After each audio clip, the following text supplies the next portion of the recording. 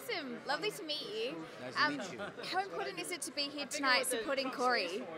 So it's incredible. I mean, it's been a long journey, and you know, it's just like the wave of Hollywood that has been, you know, taking over Hollywood and kind of keeping people accountable is just beginning. And so Corey's been on this intense journey for the last, you know, I don't know, 10 years. So it'll be really interesting to see what this is, you know, what happens here tonight. Yeah.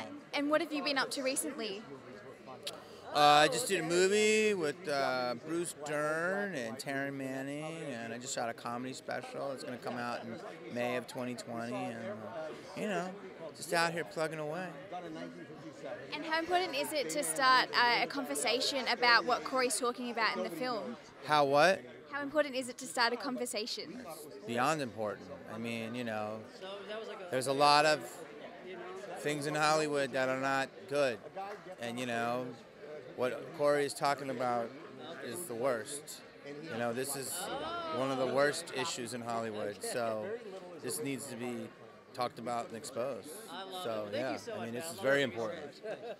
And how do you think that we can make a change? Uh, you got to weed out all, you know, you got to weed out all the people, expose, the, you know, what's happening, and you know, people need to be.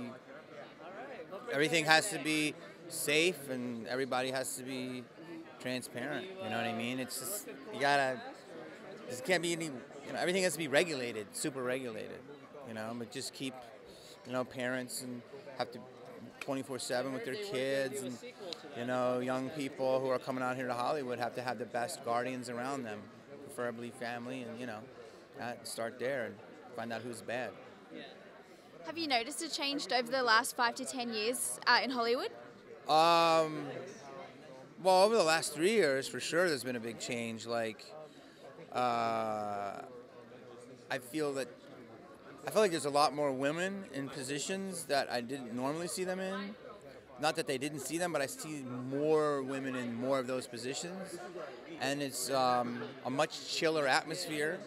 I've done a couple of episodes of TV, and the directors have been women, and it's very chill and relaxing, and just it's great. So there is a change, you know.